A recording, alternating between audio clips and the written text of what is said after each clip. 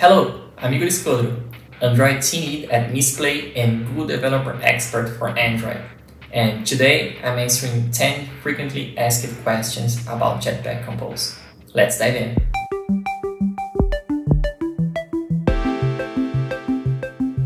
What is Jetpack Compose? Jetpack Compose is a modern toolkit for building native UIs in Android. It allows us to create apps faster using less code and with more intuitive APIs. Why should I use Compose? With Jetpack Compose, you can create better apps faster and also using Kotlin syntax. No more mixing XML and Kotlin. It also uses declarative API, which allows us just to describe what the UI should do and let Compose take care of the rest. In addition, Declarative API helps create a single source of truth, reducing constant states and bugs. All of these will accelerate your development both with new and existing apps. What's the difference between the declarative and imperative API? The imperative API is the one we use while program with Android View System. Think an Android button in XML. To manipulate it, we have several functions to be called with its reference set text is enabled, set listener, etc. We are basically using statements to change its state. In a real-world example, to bake a cake, I need to separate the ingredients, mix in a bowl, take the oven, and wait for 30 minutes. On the other hand, there is the declarative API, which is used with Jetpack Compose. Instead of call statements, we create components that know how to handle different inputs, and Compose makes sure that transitions done correctly.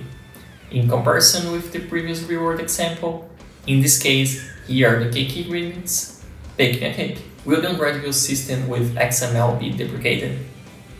At the moment, there are no plans to deprecate the Android system in favor of Jetpack Compose. However, Compose is growing a lot in the community, so it's going to be more and more common to see official documents, updates, and even projects using it. So now is the perfect time to learn more about it. Is Compose production ready? Yes, Jetpack Compose has been stable since July 2021 and constantly receiving support from Google since. There are a lot of apps already it. For example, Twitter, Airbnb, Pinterest, and also here at Misplay. Do I need to migrate everything to Compose? No, you don't need to migrate everything at once. In fact, you can create a single screen of Compose in your project just to learn and feel confident about it.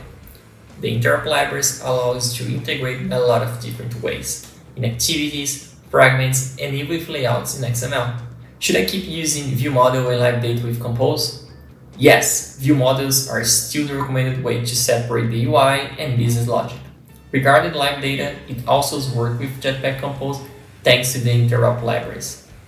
However, if you want to learn a more modern way to handle observables, I recommend take a look at Stateflow. How do I manage lifecycle with Compose? The Compose functions have a different lifecycle we are familiar with the Android View system.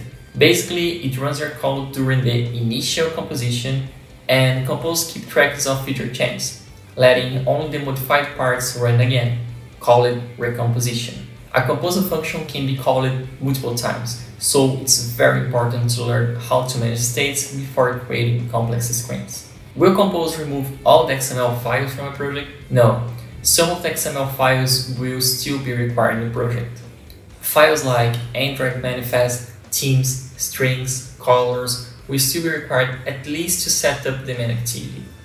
Why use Jetpack Compose code? Some Kotlin files can be used instead to store the information. A good way to see what's required is creating an empty Compose project using the Android Studio wizard. Where can I learn more about Compose?